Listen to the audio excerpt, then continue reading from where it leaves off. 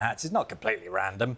It's because you're in a drama, Franklin. Yes. Which is there's a lot of stuff on the head going on, wigs and hats. Well, as you Well, can see, so I'm much- rocking a rather fetching ginger wig there. Yeah, that, when I went out to Paris to do the makeup test, they put us about. They tried four different looks, four different wigs. One of which made me look alarmingly like my nan. So thankfully they didn't go for that, but we opted for the ginger choice because I think it complemented the colours in the costume. Would you like to, just in case your nan is watching, would you like to say there's nothing wrong with looking like, like your nan? There's nothing wrong with that, and there's nothing wrong with ginger people. oh, this has started. Um, Well, just shall we help you out of your the little hole you've dug now? this has gone. Yeah, help me out. Get me Uh, out. let's explain what we're here for. The drama is called Franklin. Yes. The big star alongside yourself is none other than Michael Douglas. Let's give people a little look. We'll chat. Okay. I suppose there's no point in warning you again. that I must forgo drink and meat, that I must seek pleasure in small amusements, uh, except that which I cannot alter. Yes, I've never liked an articulate patient. Vergennes toys with me. He will help us after we win, but we cannot win unless he helps us.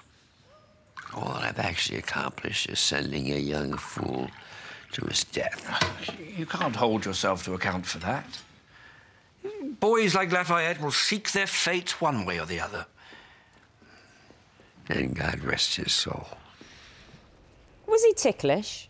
Did he have ticklish feet? Uh, he wasn't ticklish. He was an absolute superstar to work with, though. I mean, to get to work with someone of, uh, you know, Michael's stature, he's a bona fide Hollywood superstar, isn't he? He's a legend. So, um, and he was just a complete team player. You know, he was. Uh, I, and I've grown up watching all of his performances throughout the years, like Fatal Attraction and Falling Down. But he was just an absolute dream to work with. Did he have good stories? You know, you kind of when you're He with a veteran of Yeah. the industry, and you know he's been around and he's he's very cool. He was a great raconteur. He would talk a lot about his dad and all of the um, uh, sort of films that he's been in. Yeah, so he was just an absolute joy from start to finish. I have been lucky enough to interview Michael Douglas in the past. Oh, right. And I remember, and it doesn't all that hap- happen all that often, where with a big movie star, and Yeah. I know this is a TV series, but he is Yeah. a movie star isn't Yes, he, of that kind of era. The voice and the look and everything. It it took me a little while. It's quite taken aback by it because, it, like you said before, you're, he's, so familiar. Everything about Yeah, him. yeah, I Did you mean- have that moment when I don't know when you first met? Well, I, I got cast in it, and then the dates get, kept getting pushed back. So I thought this thing's never going to begin. And then all of a sudden it happened, and I was there my first day on set out in Paris, and I had a huge dinner party scene. It was a big sort of four page scene with myself, Michael, and Noah Jupe. And uh, it was a great scene because it just threw me into the deep end. But when I initially saw him, I was like, oh my God, it is Michael And it's the voice as well. It's a It is very, the very voice. recognisable Yeah, and I had too. to sort of, you know, get hold of myself because I had to do the scene. So, um, but it, it was, um, I mean, Franklin's just an amazing new um, period drama on Apple TV about Benjamin Franklin's eight-year stay in uh, Paris, where he has to elicit aid, money, and arms for the, from the French. Uh, monarchy to help fight Great Britain in the uh, Revolutionary Wars. So it's an amazing. I mean, it was like Franklin's biggest gamble of his career, and it's one big long seduction of the French court, and there's espionage and you know uh, um, late night rendezvous and all that sort of stuff. There's a lot going on. It's a thrilling, edgy of seat uh, new show. What's your history like? Are you a history buff?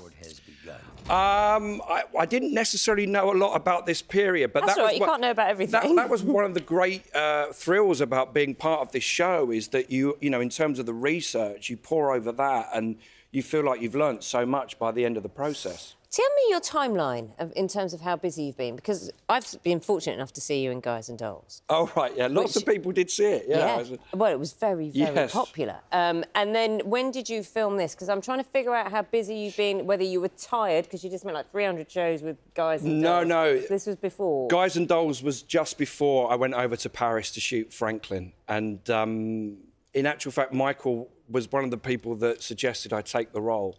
I'd had a Zoom chat with Nick Hytner, the director of Guys and Dolls, and And, and my- I was on set the following day, and I hadn't decided whether I was going to take the role of Nathan Detroit. And Michael was like, uh, "What are you doing next?" And I said, "It's a musical, Guys and Dolls." And he went, "Guys and Dolls." He said, "What role?" I said, "Nathan Detroit." He said, "You're doing it?"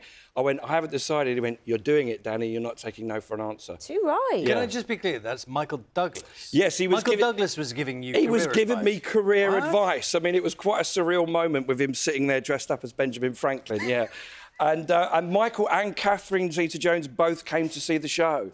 I had a break for three months in the summer, and they came to the last show before that break. And uh, it felt like everything had gone full circle, and they were so gracious with their time and had photos with the cast. I don't mind a bit of name dropping. It's absolutely fine. I don't mind well, it at all. good. I've worked with. Catherine Zeta Jones as well, you know, on Dad's Army. Now, we, you started off talking about the wigs. I'm not sure that we've seen full wigage so far and the bits we've seen. Right. Because some of the ladies have, uh, uh, and of its era, the most extraordinary things going on top of their heads. Well, there And is a woman with a ship in her head. With a ship on top Yes, of their that's head. in And I I'm mean- only, I can only assume that weather must have had a bearing on how you, because you're shooting outdoors, there must have been times when that was quite tricky. Yeah, I mean, listen, the, the level of craftsmanship that's gone into this piece in terms of the costume and makeup, set design. I- I mean, you know, I've been in a few period dramas in the past, but none so as lavish as this. And it, just, you know, when you're acting in that sort of get up, it's, it just helps you immeasurably to get into character. You can pour over the research and do all your character beats, but when they put you in a wig like that and you're in high heels and you're wearing a cane, all of that just sort of transports you to a different time and place. You know, often when we talk to female actors in period dramas, we, we do ask them, you know, what's it like? Because you've got the corsets and everything's Yeah. really tight and everything. How I said no to the corset, but no, I didn't. wear The high heels. Everyone thinks you said yes to the What? cour- What? corset What? now. What? Um, No one's going to judge you if you did. The thing is, with high heels, that your whole deportment is sh- shifted forward. Yeah, and you've I gotta stick your hips I got out. terrible lower back pain towards the end of the. How, how high were you going? They were a fair height. They, they were very high. but you're yeah. that's like six inches. Yeah, they were. That's a was- big heel. Yeah, yeah. So I don't know how you do it. How do you get on with it, Charlie? what- and- Charlie's on fine. your weekends. No one Well can see established. behind the desk, so Well okay. No one so can see. So you had heels, stockings, yes. knickerbockers type yeah. thing. Um, frock coats, ca- I mean, the whole going through the whole process of costume and makeup took about an hour. and you know. hot because the wigs are heavy. Yeah, as they well. kind of they actually sort of stuck the, the wig on on clips, and then you get your face painted with rosy cheeks. You had more makeup on than they pile on to me for Yes, this program. yes, I'm I giving mean, you a you look a bit ridiculous in, in some. Is that is that a real reflection of kind of how they were? Because they were so extreme. Yeah, I think it was just embracing that time and place. You know, wigs at that era, weren't they? Were perceived a lot like a hat and stuff, wasn't it? It was. Um, uh, they just, you know, embodied that. And There's a scene, isn't there, when the young, I think it's uh, Franklin's grandson, Yes. Mhm. is being pampered and prepared in a French style. Yes. And they put a kind of a nozzle thing uh, when they're powdering him, just so his eyes. are yes, it's like a obstructed. And then they- mask, and then, and then they enormous powder the whole. The, the- they put the wig on, put the mask on, and then powder the whole lot. Yeah, I've never yeah. seen that before, but I assume that's Yeah. just how it was I done. did that just before I came on set. Can you not tell? It's Can tell. Can tell. It's absolutely working. What's next then? What are you working on now? Uh, well, I'm putting my feet up, having a bit of a break. There's uh, No, gonna- no A-listers giving you advice. As No, to what no, no. I'm going to go take. to Belgium and shoot this thing called Bookish with the brilliant Mark Gatiss, which they, I can say that because they announced it a couple of days ago. I was a bit worried there. Um, so Another that's next in line. And um, I've got a great period drama called Welcome, not Welcome to the Punch, that's another thing. Uh, I've completely forgotten the name I'll of come it. back to you. Yes. Uh, tell me one other thing. That Michael Douglas in a TV series. I mean, it's not the f- he's not the first really big movie star to do TV, but it's it's good, isn't it? Because it, it, it, it's cha- it's a change, you know. I I think that the thing is the the gap between film and television now is kind of non-existent, really. I mean, television in its own right is such a, a powerful medium now. The thing is, you get a huge amount of time, uh, screen time. You know, this is eight episodes, Franklin, and you get, you know, s- someone like Michael Douglas to play the lead, and it's, you know, he has that time and space to fully develop the character. It's filmic, isn't it? Yeah, It's give it, give it all the nuance that you need. So, yeah, the gap has closed. But I think you know, there's always space for great cinema as well. So um, it's always a balancing act. Lovely having you on the sofa. A Thousand Blows was that period drama that I forgot. There Oh, you well go. I've got it in. They, I they won't be it. upset with you. no, If I wish you'd brought the wig in. Yes, no, I left it. it. I, le- I didn't. I, I left it in Paris. It, it, it traumatized me that much. That I sounds like couldn't- a movie in itself. I left it in left Paris. it in Paris. Coming soon. Daniel Mays, Nice thank you you. so much. Thank you very much. Uh, Franklin's out on Apple TV Plus today. Uh,